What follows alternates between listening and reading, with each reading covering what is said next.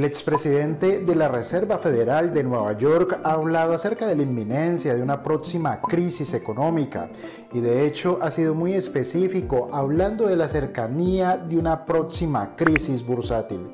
Según él, provocar una crisis bursátil podría ser en este momento uno de los principales objetivos de la Reserva Federal. Creo que entender estos temas de manera correcta es muy importante para todos los que estamos en bolsa, para todos los que estamos en inversiones o para todos los que queremos aprender cómo funciona este negocio.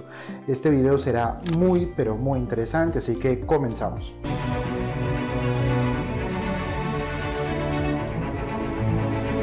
Antes de comenzar, recuerda que si este tipo de videos te aportan valor, dejarnos un gran me gusta, de esta manera YouTube mostrará nuestro contenido a la mayor cantidad de personas posibles.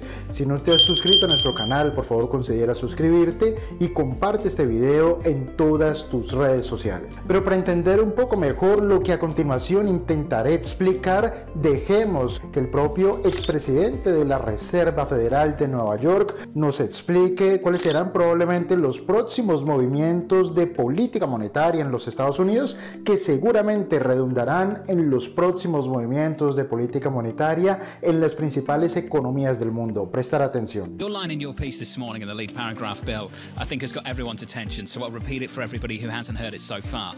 To be effective, it'll have to inflict more losses, inflict more losses on stock and bond investors than it has so far. And the stock market is also important because a lot of people have exposure to the stock market and the level of the stock market affects their wealth. So the Fed has said pretty clearly uh, we, we need to tighten financial conditions to slow the economy down to keep inflation in check. And so far, financial conditions really haven't tightened very much. Uh, the stock market is only 4% or so off its high. It's still up very sharply from where it was a couple of years ago. And bond yields, you know, 2.5, 2.6% are still really low, especially when you adjust for inflation. So in my mind, the Fed hasn't really accomplished much yet.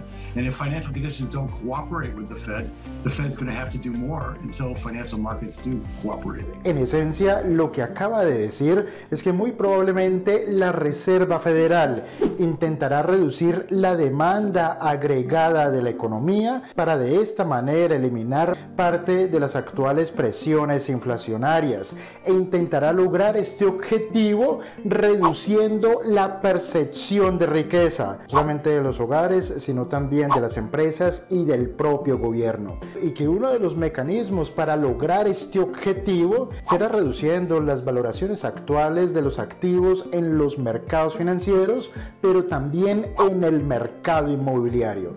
Y atención al mercado inmobiliario porque eh, por lo que he leído estamos muy probablemente en una burbuja inmobiliaria igual o peor a lo que nos mostraban las métricas antes del estallido subprime del año 2008. Pero ese será tema del siguiente video. Y para entender un poco mejor cómo funciona la política monetaria y cómo la política monetaria afecta a la economía, pero también a los mercados financieros, voy a intentar utilizar el siguiente esquema. Lo primero que tenemos que entender es que la política monetaria, es que los bancos centrales tienen las siguientes herramientas de política monetaria para intentar influir en la economía y también en los mercados financieros. La primera herramienta es M1 o la emisión de dinero y la segunda herramienta son los tipos de interés. Claro, si yo emito dinero y este dinero lo pongo a circular a través del canal del crédito, es decir, a través del sistema financiero, en esencia lo que estoy intentando es estimular la economía, pero de manera artificial. Esto se intenta hacer en situaciones de crisis para evitar las peores consecuencias de una recesión o incluso de una depresión económica. Entonces, la impresión de dinero es la primera herramienta y la segunda herramienta son los tipos de interés. Si los tipos de interés se reducen, los agentes económicos tendrán mayores incentivos. Las familias para tomar crédito para consumir más, los negocios toman más crédito para invertir más y los gobiernos también toman crédito para gastar más. Eso se llama demanda agregada y esto empuja la economía de manera artificial en el corto plazo. La Reserva Federal a partir de la crisis subprime comenzó a utilizar un tipo de política monetaria que nunca se había utilizado y que se denomina política monetaria cuantitativa. No creas que es difícil porque no lo es, pero sí que es muy interesante y lo necesitamos comprender. La política monetaria cuantitativa consiste en lo siguiente. La Reserva Federal imprime dinero, que es M1 y a su vez el gobierno, en este caso el gobierno de los Estados Unidos, imprime bonos, que es deuda. Ellos imprimen bonos para poder gastar. Si estamos en crisis económica, y es lo que ocurrió en el año 2008 y 2009, necesitaban gastar más dinero para los rescates al sistema financiero y para realizar o ejecutar los planes de estímulo económico de aquel momento. Entonces el gobierno emite bonos y el Banco Central emite dólares. ¿En qué consiste la política monetaria cuantitativa? En que el gobierno emite la deuda, es decir, los bonos, y se los entrega a la Fed, que es el Banco Central. Y la Reserva Federal paga la compra de estos bonos con dólares y se los entrega al gobierno. Esto es un típico mecanismo de financiación directa a través de emisión monetaria de parte del Banco Central al gobierno federal. Esto es política monetaria cuantitativa. También la Reserva Federal emite dólares para realizar o para ejecutar la compra directa de activos en los mercados financieros. Durante el año 2008 o a partir mejor del año 2008, la Reserva Federal comenzó a comprar toneladas de títulos, acciones, bonos, bonos corporativos, bonos de deuda pública, bonos hipotecarios, porque lo que intentaban era poner una red de seguridad para que el precio de los activos no siguiera cayendo. Eso se logró y es lo que permitió que todos los inversionistas disfrutáramos del movimiento alcista de los últimos 12, 13 o 14 años. El hecho es que esta es la política monetaria cuantitativa. ¿Cuál es el resultado directo de la compra de activos en los mercados, incluyendo la compra de bonos emitidos por el gobierno? El principal resultado o el resultado más directo es el aumento en el balance de la Fed. Pongamos el siguiente ejemplo, supongamos que yo tengo una tienda y esta tienda me genera muchísimos beneficios y empiezo a utilizar estos beneficios para comprar departamentos para alquilar. Entonces me compro un departamento, otro departamento, otro departamento, otro departamento y me lleno de departamentos para alquilar. Esos departamentos que son son activos, donde se contabilizan esos activos en mi balance contable. Eso es precisamente lo que ha ocurrido con la Fed y lo intento explicar de manera muy pedagógica. A medida que aumentaba la emisión de dinero para comprar bonos emitidos por el gobierno, pero también para comprar acciones que cotizan en bolsa, el balance de la Fed fue aumentando.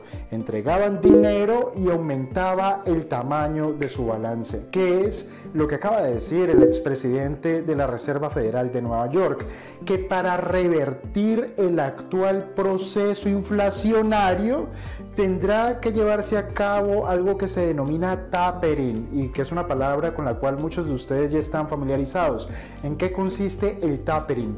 El tapering consiste en dos cosas. La primera de ellas es que ya no voy a comprar más activos, es decir, que voy a interrumpir el proceso actual de política monetaria cuantitativa ya no entrego dinero y ya no recibo bonos. Se rompe esta financiación directa al gobierno, pero también se interrumpe la compra de activos en los mercados financieros. Se calcula que la Reserva Federal eh, ha comprado algo así como 150 mil millones de dólares de manera mensual durante los últimos 12 o 13 años. Es muchísimo dinero, es mucho músculo financiero y será dinero que ya dejará de ingresar en bolsa. Después de explicar un poco en qué consiste el tapering y cuáles son las consecuencias que se persiguen, primero subiendo los tipos de interés y segundo reduciendo las compras o incluso eliminando las compras que realizan los bancos centrales en los mercados financieros, vamos a intentar explicar esto de una manera más práctica a través de las consecuencias en la economía real, pero también a través de las consecuencias que una política monetaria restrictiva como el tapering puede provocar en los mercados financieros. Prestar atención a lo siguiente, estos son los ciclos económicos. Tenemos ciclos de expansión, de auge, recesión y depresión aquí debajo y son ciclos que se repiten y se repiten y se repiten estamos, por ejemplo, en un momento de expansión, es muy probable que la inflación comience a subir, producto precisamente de que la expansión económica se comienza a acelerar. Se expande la economía e inmediatamente aparecen presiones inflacionarias. Como todo esto ya está completamente documentado en la economía, cuál es el comportamiento de los ciclos económicos y a su vez cuál es el comportamiento de la inflación, entonces las autoridades económicas, en este caso los policy makers, los hacedores de la política monetaria, entienden cómo es posible atajar la inflación. Si estamos en un momento de expansión y aparecen presiones inflacionarias, entonces ellos comienzan a subir los tipos de interés, que es lo que yo estoy marcando aquí de color negro. Se comienzan a subir los tipos de interés y al mismo tiempo se comienzan a retirar los estímulos monetarios. Ya no se realizan compras en los mercados y por lo tanto se encarece el crédito a los hogares, a las empresas y al propio gobierno. Cuando suben los tipos de interés, se suben precisamente para enfriar la economía. Es decir, que de manera premeditada se busca que la economía entre en recesión, se enfríe. Y aquí eh, uno puede buscar un aterrizaje suave de la economía o un aterrizaje fuerte de la economía. Eso que se conoce como un soft landing o un hard landing. La economía, por lo tanto, entra en recesión, se enfría y comienza a caer.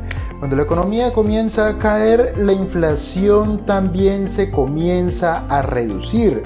Pero a medida que la recesión toma velocidad, se podría llegar a un punto en el cual se entra en depresión. Nadie quiere entrar en una depresión porque esto lo que implica es la pérdida masiva de empleos y también esto es consecuencia de la quiebra masiva de empresas. Cuando una empresa quiebra, eh, deja de existir y es mucho más fácil que una compañía quiebre a que una compañía se cree. Eso lo que quiere decir es que nadie quiere que ocurra una quiebra masiva de empresas. Entonces, para prevenir que la economía entre en depresión, los tipos de interés se comienzan a reducir. Y esta reducción en los tipos de interés es lo que en algún momento propicia que la economía comience a recuperarse, que no se entre en depresión y que entremos otra vez en un momento de expansión. Observen que este es el eterno baile entre propiciar un crecimiento económico saludable, evitando en el proceso que aparezcan presiones inflacionarias que erosionen el valor de los salarios, el valor de los ahorros y que perjudique a los mercados financieros. Pero en este preciso instante, tal como se lo escuchamos decir al propio expresidente, de la Reserva Federal de Nueva York. Lo que la Reserva Federal de Nueva York está buscando es que la economía entre en recesión.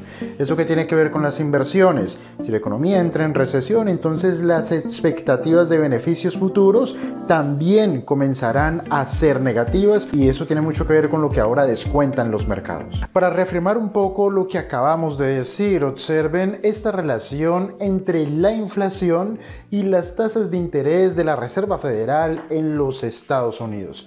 Observen que cuando aumenta la inflación, que está de color rojo, los tipos de interés también comienzan a subir. Y cuando la inflación cae, los tipos de interés se comienzan a reducir. Cuando la inflación se mantiene más o menos en niveles razonables, observen que este es el nivel cero, cuando se mantienen niveles razonables, los tipos de interés se mantuvieron sin cambios. Pero en cuanto la inflación volvió a acelerar, los tipos de interés también volvieron a subir. Aquí volvieron a caer los tipos de interés porque la inflación cae, porque la economía cae por lo que ocurrió en el año 2020. Pero observen ahora mismo el momento en el cual nos encontramos. Al momento de grabar este video, los tipos de interés en los Estados Unidos se sitúan en el nivel de 7,9%. Estos son niveles de inflación que no se observaban allí desde hace 40 años. La inflación, por lo tanto, está aquí arriba. Esta es una potente aceleración de la inflación. Pero observen que los tipos de interés apenas comenzaron a subir y se encuentran todavía aquí debajo. Teniendo en cuenta esta aceleración de la inflación, los tipos de interés tendrían que acelerar la subida para enfriar la economía. Y este enfriar la economía implica también enfriar la actividad productiva, por lo tanto enfriar las expectativas de beneficios para las empresas y a su vez enfriar a los mercados. Observen que al final de cuentas lo que ahora mismo pretende la Reserva Federal de los Estados Unidos, pero es muy probable que la misma política restrictiva se lleve a cabo por parte de la mayoría de los bancos centrales importantes del mundo. Observen que mucho de lo que ellos ahora mismo pretenden hacer es revertir este brutal crecimiento de la masa monetaria. En varios videos ya hemos comentado que a lo largo de los dos últimos años se han impreso el 40% de todos los dólares que ahora mismo circulan en la economía. El 40% de todos los dólares que se han impreso en la historia se imprimieron durante los últimos dos años. Lo que la Reserva Federal pretende revertir es este crecimiento brutal de la masa monetaria.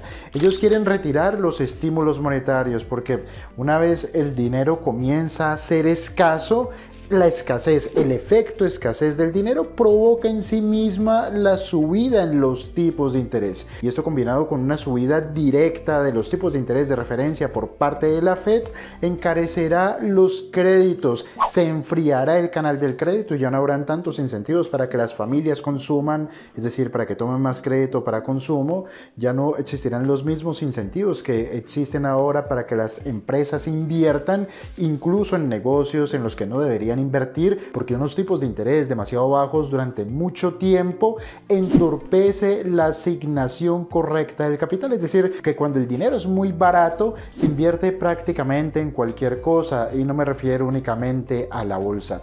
Ellos pretenden revertir esto, pero comparen este gráfico de crecimiento en la masa monetaria con el gráfico del índice Standard Poor's 500 durante los últimos años. Este crecimiento en los activos financieros, en el valor de los activos financieros, está plenamente explicada por el aumento en la cantidad de dinero que circula en la economía. Cuando se revierta todo este dinero que entró en la economía, cuando se revierta, cuando se retiren los estímulos, entonces ustedes qué creen que podría ocurrir con los mercados financieros y en este caso con el Standard Poor's 500.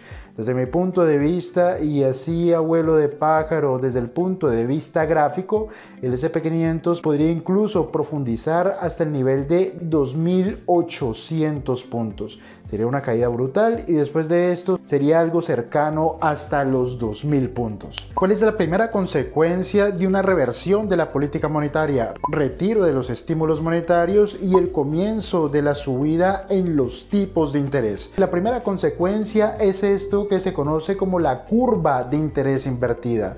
En algunas ocasiones, y aquí lo hemos explicado varias veces, y es que la curva de tasas de interés lo que nos dice es que a mayor plazo de tiempo, mayores son los tipos de interés que nos pagan o con los que nos remuneran los títulos de renta fija. Y entre menor sea el plazo de vencimiento, serán menores también los tipos de interés con el que se nos remunera a través de títulos de renta fija. A esto se le denomina la curva de tasas de interés. A mayor plazo, mayor es el rendimiento que recibimos por eh, inversiones en renta fija y esto es apenas normal porque entre mayor es el plazo de vencimiento existe una mayor percepción de riesgo que puede ser riesgo emisor, riesgo de mercado, riesgo de contraparte, etc. Pero cuando se comienza a retirar dinero de la economía, cuando se retiran los estímulos monetarios y además cuando se comienzan a subir los tipos de interés, estos tipos de interés de corto plazo que tienden a ser más bajos comienzan a subir. ¿Por qué comienzan a subir? Porque eh, en el corto plazo los tipos de interés de corto plazo son más sensibles a movimientos en las tasas de interés de referencia. Entonces los tipos de interés de corto plazo comienzan a subir y a esto es a lo que se le denomina el aplanamiento de la curva de tasas de interés. Cuando las tasas de interés de largo plazo comienzan a ser muy parecidas a las tasas de interés de corto plazo. Pero es que además podría ocurrir una situación que no es normal, pero que además se convierte en uno de los indicadores adelantados de la economía más fiables y además uno de los más peligrosos, porque este indicador que les voy a comentar es el que con una mayor precisión nos pueden decir qué tan cerca o qué tan lejos estamos de la próxima recesión. Y es cuando ocurre lo siguiente, cuando los tipos de interés de corto plazo, que son estos que están aquí al principio, aquí está la variable tiempo, comienzan a ser mayores a los tipos de interés de más largo plazo. No existe ninguna lógica que un título con vencimiento en 10 años tenga un rendimiento inferior a un título que vence en un año o que vence en dos años. Esto no tiene ninguna lógica. Esto ocurre cuando los mercados monetarios se comienzan a secar y el riesgo empieza a afectar directamente y rápidamente los tipos de interés de corto plazo. ¿Por qué esto es importante? Porque cuando suben los tipos de interés de corto plazo, se afectan las líneas de crédito de más corto plazo. Si estamos hablando de empresas, estamos haciendo referencia a créditos de tesorería, créditos para pagar la nómina, etc. Esto empieza a enfriar directamente la economía y por esto se conoce como un indicador adelantado de la economía que nos podría decir con precisión que estamos muy cerca de la próxima recesión. Lo que nos está mostrando este gráfico que es real es que la curva de tasas de interés ya se está aplanando, que aquí en la parte corta ya subió y que está muy próxima a ser igual o incluso a subir por arriba de la parte de la curva que es de más corto plazo, que son los títulos a 30 años, a 20 años y a 15 años. Es un indicador adelantado de la próxima recesión. Recuerden que estoy intentando explicar de una manera muy sencilla y didáctica temas que suelen ser bastante complejos, sobre todo si no tienes conocimientos previos sobre inversiones y sobre economía. Si de todas formas te están quedando temas eh, sobre todos estos conceptos que no terminas de entender y con los cuales no te terminas de manejar y sobre todo usarlos de manera práctica para la toma de decisiones. Si todavía muchas cosas no las tienes claras, aquí debajo te dejo un link para que te pongas en contacto con nosotros y las podamos aclarar. Hasta este punto es muy importante tener lo suficientemente claro que una cosa es invertir cuando los mercados son regados con una fuente casi inagotable de dinero. Pero que otra cosa es invertir cuando los mercados se comienzan a secar producto de la inflación. Si sube la inflación, entonces ya sabemos que subirán los tipos de interés y caerá el dinero que circula en la economía. Esta combinación de factores, una que es consecuencia de la otra, eh, redundará en una caída generalizada de la economía y también en una caída generalizada de los mercados. Es muy difícil aquí interpretar cuál es el próximo paso o cuál es el timing en el que ocurrirán cada uno de estos procesos, pero el hecho es que ocurrirá. Y aquí una cuestión importante para nosotros, los inversionistas y los traders, es la siguiente. Ya sabemos que probablemente ocurrirá una recesión producto del retiro de los estímulos monetarios y producto de la subida de los tipos de interés y esto como consecuencia de un entorno inflacionario. Pero observen este gráfico que son las estimaciones del consenso de analistas acerca del crecimiento de los beneficios para las empresas en lo que queda del año 2022. Observen que según los analistas el crecimiento de los beneficios sigue muy sólido, continúa siendo muy fuerte. Y si esto es así, ¿saben cuál es la clave para invertir en un entorno inflacionario de subida de los tipos de interés y de retiro de los estímulos monetarios? La clave es invertir en empresas que tengan pricing power. ¿Qué es pricing power? La capacidad que tienen determinadas compañías para subir los precios sin que esto afecte la demanda por sus productos y por sus servicios. ¿Qué tipo de compañías tienen pricing power? Pues aquellas que se han adueñado de una parcela de la mente del consumidor y el consumidor igual seguirá comprando sus productos o sus servicios independientemente de que suban el precio, lógico, hasta niveles razonables. ¿Por qué esto es importante? Porque aquellas compañías que, son que tienen pricing power pueden subir los precios y de esta manera proteger sus márgenes de beneficios.